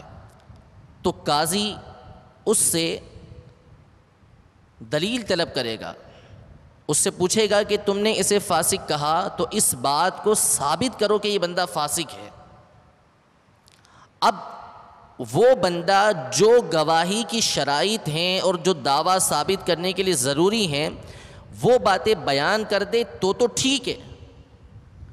ورنہ قاضی اس کو تعزیر کرے گا یعنی اس کو سزا دے گا کہ اس نے ایک مسلمان کو فاسق کہا ہے۔ آپ اس کے آخر میں ارشاد فرماتے ہیں کہ اگر یہ شخص اتنا کہہ دے کہ میں نے اس کو فاسق اس لیے کہا ہے کہ یہ فرائض کو ترک کرتا ہے، تو اب قاضی اسلام، قاضی جو ہے، اس شخص سے کہ جس کو فاسق کہا گیا ہے، اس سے اسلام کے فرائض دریافت کرے گا۔ اگر نہ بتا سکا تو فاسق ہے۔ یعنی اب یہ صدر الشریعہ اس کی تعریف بیان کر رہے ہیں کہ اس کا مقصد بیان کر رہے ہیں۔ فرما رہے یعنی وہ فرائض جن کا سیکھنا اس پر فرض تھا اور اس نے نہ سیکھا تو اس کے فاسق ہونے کے لیے یہ کافی ہے۔ تو اس جزیے کی روشنی میں، اس عبارت کی روشنی میں ہمارے سامنے واضح ہوا کہ جو باتیں سیکھنا ہم پر فرض ہیں، اگر وہ ہم نے نہ سیکھیں تو فاسق قرار پائیں گے۔ اب یہ بات بیان ہو چکی۔ یہ پہلی بات، پہلا جزیہ اور پہلا پوائنٹ ہمارے سامنے یہ آیا کہ جو بندہ فرض علم نہیں سیکھتا، وہ فاسق قرار پاتا ہے۔ اور فرض علم کے بارے میں ہم نے معلوم ہو چکا ہمیں کہ فرض علوم اپنی موجودہ حالت کے اعتبار سے ہوتے ہیں۔ فرض علوم کے اندر سب سے جو اہم بات ہے، وہ ہے عقیدے کی، عقیدے کا بیان۔ جب تک بندے کا عقیدہ درست نہیں اس وقت تک اس کے اعمال کا اس کو فائدہ نہیں ہے۔ اس کی وجہ کیا ہے؟ وجہ یہ ہے کہ عقیدہ ایک بنیاد ہے۔ اور جو اعمال ہم کرتے ہیں، وہ سارے کے سارے ایک عمارت کی حیثیت رکھتے ہیں۔ تو جب تک بنیاد درست نہ ہو، اس وقت تک عمارت درست نہیں ہوتی۔ تو عقیدہ جب تک درست نہیں ہوگا، اس وقت تک اعمال درست نہیں ہو سکتے۔ حضرت علامہ محمود احمد رضوی صاحب رحمۃ اللہ تعالی علیہ، جو اہل سنت کے ایک بہت جگید عالم گزرے ہیں، انہوں نے بخاری شریف کی شرح میں فیوز الباری کے نام سے اب کی شرح ہے، اس کی پہلی جلد میں عقیدے کی اہمیت کو اس مثال سے سمجھایا کہ جب بندہ کوئی معمار، کوئی انجینئر یہ کوئی مکان کھڑا کرنا چاہتا ہے، کوئی عمارت بنانا چاہتا ہے، تو پہلے اس کا نقشہ بناتا ہے۔ ایک نقشہ تیار کرتا ہے، پھر اس نقشے کے مطابق اس عمارت کو بناتا ہے۔ اگر بغیر نقشے کی عمارت کھڑی کی جائے گی، تو وہ ٹیڑھی میڑھی ہو کے رہ جائے گی۔ تو فرماتے ہیں کہ عقیدے کی مثال اسی طریقے سے ہے کہ بندہ جس طرح کے عقائد وہ رکھتا ہے جو اس نے اپنے عقائد بنا رکھے ہیں، اسی کے مطابق وہ اعمال کرتا ہے۔ اب اگر اس نے نقشہ صحیح بنا رکھا ہے، تو وہ صحیح اعمال کرے گا۔ اور اگر اس کا جو بنیادی نقشہ اپنے اعمال کرنے سے پہلے وہی غلط بنایا ہوا ہے، تو اب اعمال بھی اس کے غلط ہو جائیں گے۔ صدر الشریعہ بدر الطریقہ، حضرت علامہ مولانا مفتی امجد علی اعظمی رحمۃ اللہ تعالیٰ علیہ انہوں نے بہر شریعت کے سترہ حصے لکھے۔ سترواں حصہ کچھ لکھا اور مکمل نہیں کر پائے۔ اور یہ سارے کے سارے حصے یہ فرض علوم پر مبنی ہیں۔ جتنے بھی یہاں پر بیان ہوں گے ہمارے، وہ سارے کے سارے اس بہار شریعت کے اندر تقریباً موجود ہیں۔ آپ نے پہلے دوسرا حصہ لکھا۔ جو عبادات سے متعلق ہے، اس میں تہارت کا بیان ہے۔ تہارت تہارت سے متعلق جتنی باتیں ہیں، نجاست وغیرہ، وضو، غسل، سب چیزیں اس کے اندر موجود ہیں۔ آپ فرماتے ہیں کہ میں نے ابھی ایک حصہ لکھا تھا یعنی دوسرا حصہ لکھا تھا۔ تو میرے ذہن میں یہ خیال آیا کہ اعمال کی درستی یعنی اعمال جو میں لکھ رہا ہوں آگے جو تہارت کا بیان لکھ رہا ہوں، نماز کا بیان لکھ رہا ہوں، روزے، زکوٰۃ کا بیان لکھ رہا ہوں، حج کا بیان لکھ رہا ہوں ان تمام کی درستی عقائد کی صحت پر متفر ہے۔ یعنی اسی صورت میں یہ تمام کے تمام اعمال درست ہو سکتے ہیں جبکہ عقائد درست ہوں۔ اگر عقائد درست نہیں، تو فرماتے ہیں کہ بہت سارے مسلمان ایسے ہیں کہ اصول مذہب سے بھی آگاہ نہیں ہیں۔ یعنی ان کو پتہ ہی نہیں ہے کہ ہمارے عقائد کیا ہونے چاہیے کس طرح کے ہمیں عقائد رکھنے چاہیے اس کو مزید سمجھنے سے پہلے آگے بڑھنے سے پہلے اعلیٰ حضرت امام اہل سنت، امام احمد رضا خان رحمۃ اللہ تعالیٰ علیہ کی ایک مبارک عبارت میں آپ کے سامنے پیش کرتا ہوں۔ اسے غور سے سماعت فرمائیے اور اس کی روشنی میں ہم مزید عقیدے کی اہمیت کو سمجھیں گے اور اس کی انشاءاللہ اس کے بارے میں مزید سنیں گے۔ آپ فرماتے ہیں اپنے رسالے عطائب التحانی، جو فتح رضویہ کی باری بارہویں جلد کے اندر ہے کہ فرائض ادا نہ کرنے یا ان کی ادا سے باز رکھنے پر آدمی کافر نہیں ہوتا۔ کسی نے نماز نہیں پڑھی فاسی کو فاجر ہے، سخت گناہ گار ہے، اندیشہ ہے کہ اس کا موت کے وقت ایمان چھین لیا جائے۔ کسی کو نماز سے روک دیا، سخت گناہ گار ہے، روزہ نہیں رکھتا، رکھنے نہیں دیتا، لیکن وہ بندہ کافر نہیں جب تک ایسے فرض کی فرضیت کا منکر نہ ہو جس کا فرض ہونا ضروریات دین سے ہو۔ ابھی انشاءاللہ اس کی ڈیٹیل آگے آئے گی کہ ضروریات دین کیا ہوتے ہیں۔ لیکن یہ دیکھیے کیا فرمایا کہ اگر فرض ضروریات دین سے ہے اور اس کا وہ منکر ہے، اس کو مانتا ہی نہیں ہے، تو دائرہ اسلام سے خارج ہو گیا۔ نماز نہیں پڑھی، پڑھنے نہیں دی گناہ گار ہے، فاسق و فاجر ہے، لیکن کافر نہیں۔ البتہ اگر وہ نماز کی فرضیت کا منکر ہے، وہ مانتا ہی نہیں ہے کہ میں نماز ہم پر فرض کی گئی ہے۔ مانتا ہی نہیں ہے کہ روزہ ہم پر فرض کیا گیا۔ زکوٰۃ کی فرضیت کا اعتقاد ہی نہیں رکھتا تو اب وہ دائرہ اسلام سے خارج ہو جائے گا۔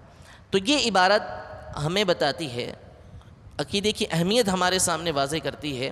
کہ عقیدہ اگر درست نہیں، عقائد کی صحیح معلومات نہیں، تو بندہ دائرہ اسلام سے بھی خارج ہو سکتا ہے۔ کیونکہ بعض عقائد وہ ہیں کہ جن کی بنیاد ہی اسلام ہے۔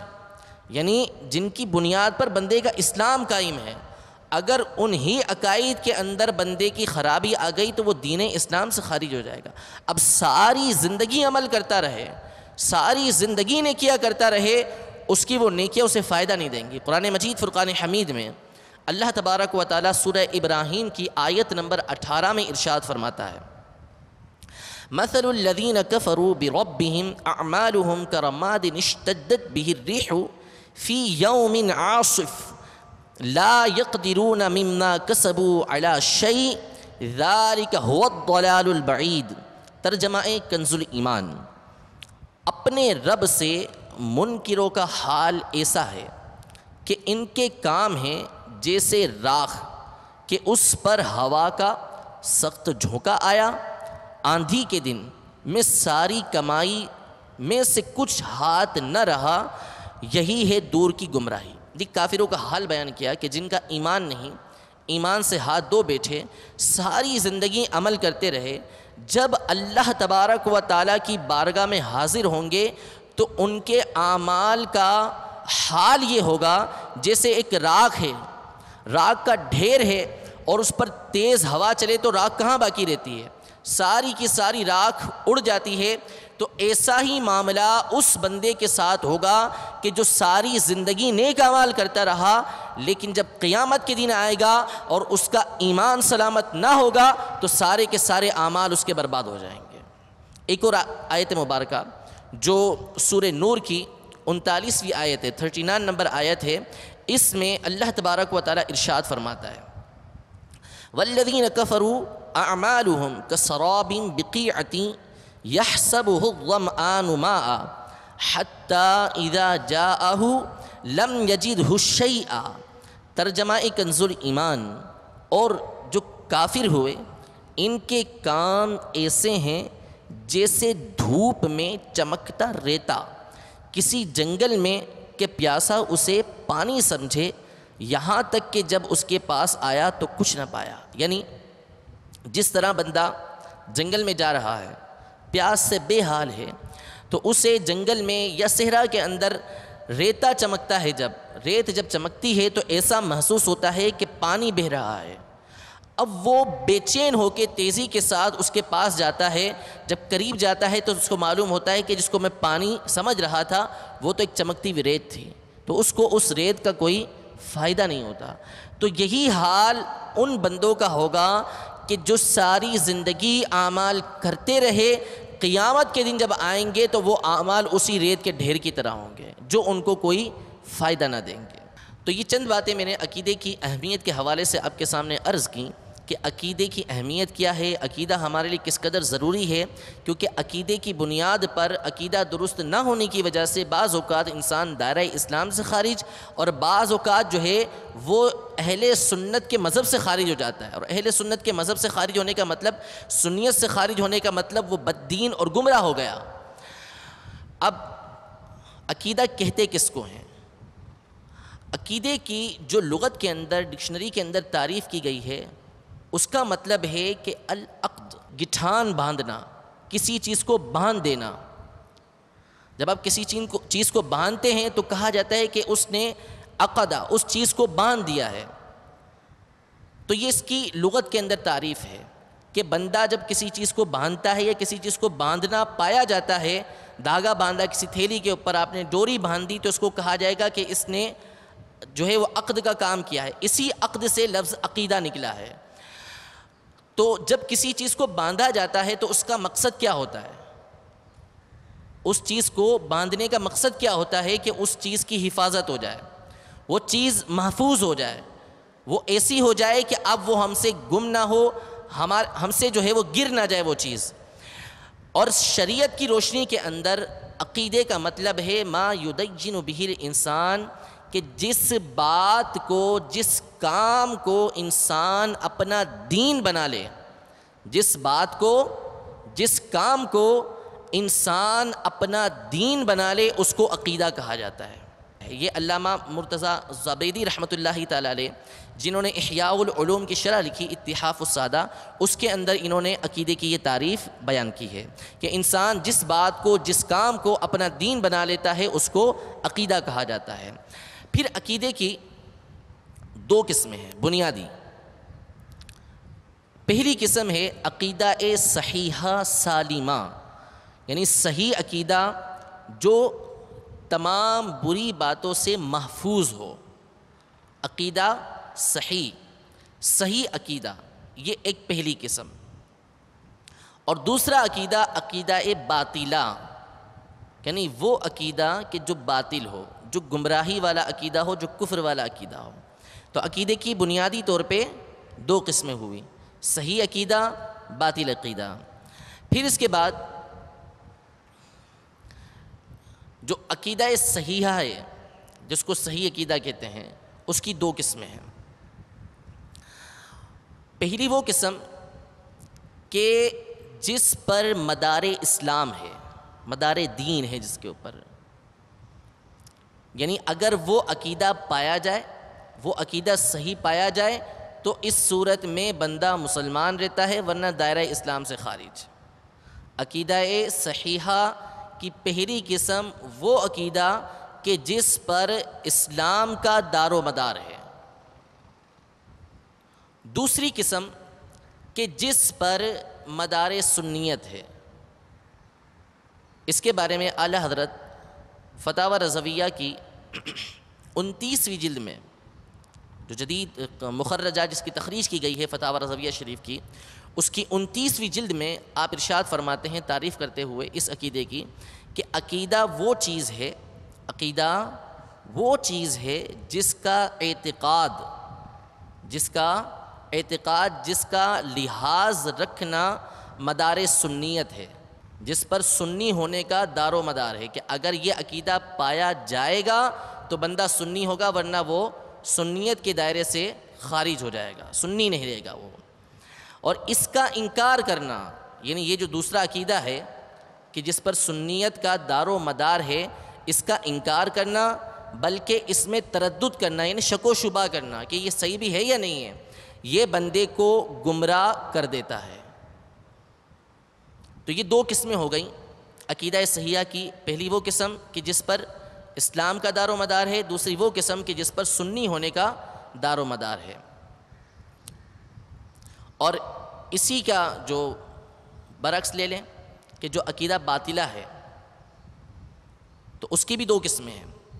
پہلی وہ قسم کہ وہ عقیدہ رکھنا کہ جس کی وجہ سے بندہ دائرہ اسلام سے خارج ہو جاتا ہے یعنی کفر کا عقیدہ۔ جو کافروں کا عقیدہ ہے، ویسا عقیدہ رکھنا۔ یہ بندے کو دائرہ اسلام سے خارج کر دے گا۔ اور دوسری قسم وہ کہ جو گمراہی والا عقیدہ ہے۔ ایسا عقیدہ رکھنا کہ جس کی وجہ سے بندہ گمراہ ہو جاتا ہے۔ اچھا اب جو باتیں میں نے بیان کی، ان میں جو عقیدہ صحیحہ کی میں نے پہلی بات بیان کی کہ وہ عقیدہ صحیحہ کہ جس پر مدار اسلام ہے۔ تو وہ باتیں کہ جس پر مدار اسلام ہوتا ہے، وہ ضروریات دین ہوتی ہیں۔ ضروریات دین ہوتی ہیں۔ ضروریات دین کی بہت ساری کتابوں کے اندر تعریفیں ہیں۔ علامہ شامی رحمۃ اللہ تعالیٰ علیہ نے جو ہے وہ رد المختار کے اندر علامہ ابن حجر حتمی رحمۃ اللہ تعالیٰ علیہ نے فتح حدیثیہ میں بیان کی ہیں۔ لیکن میں یہاں آپ کے سامنے جو سب سے آسان تعریف امیر علیہ سنت نے اپنی تصنیف کفریہ کلمات کے بارے میں سوال جواب اس میں جو تعریف بیان کی ہے وہ آسان ہے۔ انشاءاللہ وہ الفاظ آپ کے سامنے بیان کرتا ہوں۔ پھر انشاءاللہ اس کی جو شرح ہے، جو اس کی مزید وضاحت ہے، وہ عرض کروں گا۔ آپ فرماتے ہیں کہ ضروریات دین اسلام کے وہ احکام ہیں۔ ضروریات دین اسلام کے وہ احکام ہیں جن کو ہر خاص و عام جانتے ہوں۔ جن کو ہر خاص و عام جانتے ہوں۔ جیسے اللہ عز و جل کی وحدانیت یعنی اللہ عز و جل کو ایک ماننا۔ ہر ایک جانتا ہے، ہر خاص آدمی بھی جانتا ہے، عام آدمی بھی جانتا ہے کہ اللہ عز و جل ایک ہے، اس کا کوئی شریک نہیں ہے۔ اسی طرح انبیاء کرام علیہم السلام کی نبوت کہ انبیاء کرام علیہم السلام کو اللہ تبارک و تعالی نے بھیجا ہے۔ ان کا نبی ہونا، ان کا رسول ہونا، اس کو بھی ہر ایک بندہ جانتا ہے۔ تو اس کا اعتقاد رکھنا یہ بھی ضروریات دین میں سے۔ اسی طرح نماز فرض ہے، روزہ فرض ہے، زکوٰۃ فرض ہے، حج فرض ہے، یہ باتیں ضروریات دین میں سے ہیں۔ تو ضروریات دین وہ احکام کہ جن کو ہر خاص و عام جانتا ہو۔ اچھا اب یہاں پر ایک بات یہ کہ اس کی وضاحت خود اس عبارت کے اندر بھی موجود ہے۔ کہ عام سے کیا مراد ہے؟ خاص سے مراد تو علماء ہو گئے۔ عام سے مراد وہ شخص کہ جو علماء کی صحبت میں رہتا ہو۔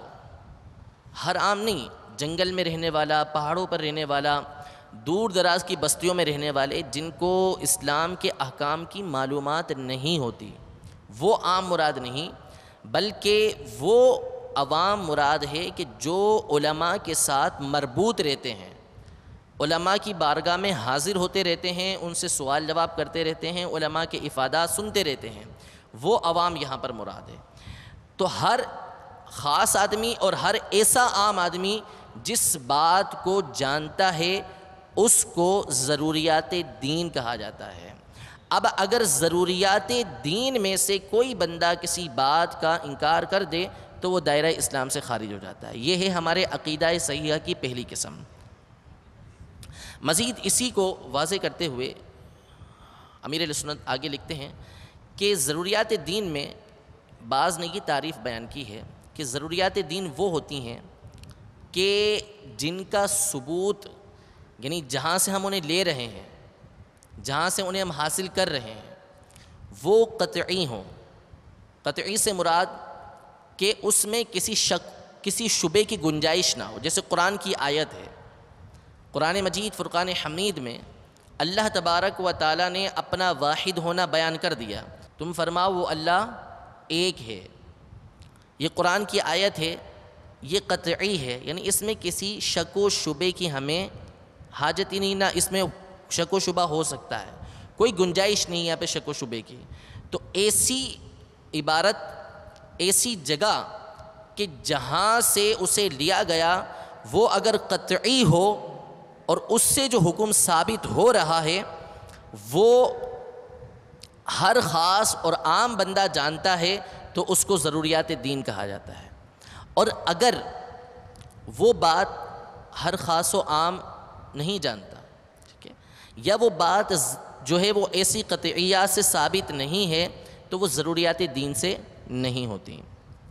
اچھا ضروریات مذہب اہل سنت، یہ وہ ہوتی ہیں کہ جن کا علم تو سب کو ہوتا ہے، علم سب کو ہے، لیکن جہاں سے ہم لے رہے ہیں، وہ بات قطعی طور پہ ثابت نہیں ہے۔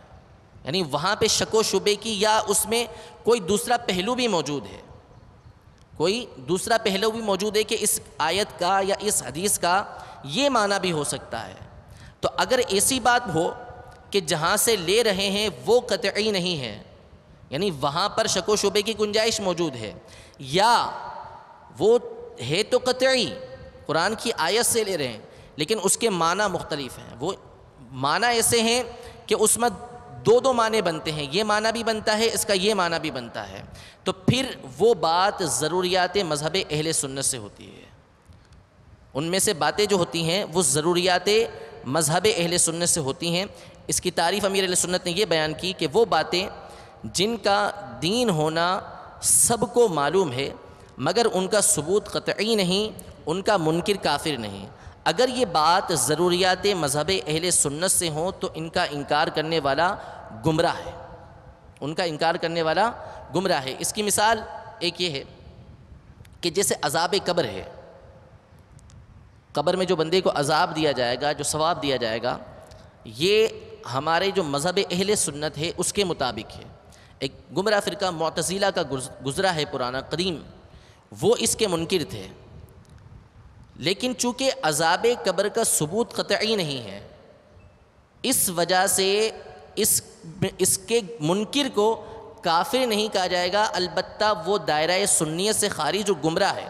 اور گمراہ جو ہے، یہ کوئی عام بات نہیں ہے۔ گمراہیت یہ بندے کو سنیت سے خارج کر دیتی ہے اور عین ممکن ہے کہ موت کے وقت ایسے بندے کا ایمان بھی چھین لیا جائے۔ تو ضروریات مذہب اہل سنت جو ہے، وہ ان ان کا جو منکر ہوتا ہے، وہ اگرچہ کہ کافر نہیں، مگر وہ دائرۂ سنیت سے خارج اور گمراہ ہے۔ تو یہ چند باتیں جو آج کے حوالے سے تھیں، وہ میں نے آپ کے سامنے عرض کی۔ ان میں سے اکثر باتیں جو ہیں، وہ امیر سنت کی تصنیف کفریہ کلمات کے بارے میں سوال جواب کے اندر موجود ہیں۔ انشاءاللہ تبارک و تعالی، اب جو ہمارا آگے کا جتنے بھی درس چلیں گے، وہ یہی ہوں گے۔ یا تو وہ ضروریات دین سے ہوں گے، عقائد سے متعلق جو بھی ہیں، یا پھر وہ ضروریات مذہب اہل سنت سے ہوں گے۔ کہ ضروریات دین بھی بتائی جائیں گی کہ جن کی وجہ سے بندہ دائرہ اسلام میں رہے، اور ضروریات مذہب اہل سنت بھی بتائی جائیں گی کہ جن کی وجہ سے بندہ جو ہے وہ مذہب اہل سنت کے اندر بھی رہے۔ تو کچھ کتابیں جو آپ کی سہولت کے لیے مرتب کی گئی ہیں اور وہ مکتبۃ المدینہ سے مطبوعہ بھی ہیں۔ کوشش فرما کر یہ آپ حاصل فرما لیں۔ انشاءاللہ تبارک و تعالی آئندہ جو ہمارے دروس ہوں گے، جو جو ہمارے اسباق ہوں گے، اس میں یہ کتابیں آپ کے لیے معاون ثابت ہوں گی۔ پہلی کتاب بحر شریعت ہے۔ امیر علیہ سنت کی تصنیف کفریہ کلمات کے بارے میں سوال جواب۔ غیبت کی تباہ کاریاں تکبر، شکر، منہاج العابدین مدنی قاعدہ، نماز کے احکام، جہنم میں لے جانے والے اعمال، فیضان زکوٰۃ اور اس کے علاوہ امیر علیہ سنت کی جو وضو، حج اور نماز کے طریقے پر مشتمل سیڈیز ہیں، یہ انشاءاللہ اگر آپ حاصل کر لیں گے تو فائدہ یہ ہوگا کہ آئندہ جتنے بھی ہمارے اسباق ہوں گے، ان میں سے ایک معتد بھی تعداد، ایک اچھی تعداد جو ہے، وہ آپ پہلے ہی سے تیار کر کے اس کا مطالعہ کر کے آ سکتے ہیں۔ انشاءاللہ تبارک و تعالی یہ آپ کے معاون ثابت ہوں گی۔ رب العزت جل و علا ہم سب کو ان تمام باتوں پر عمل پیرا ہونے کی توفیق عطا فرمائے۔ یہی ہے آرزو تعلیم قرآن۔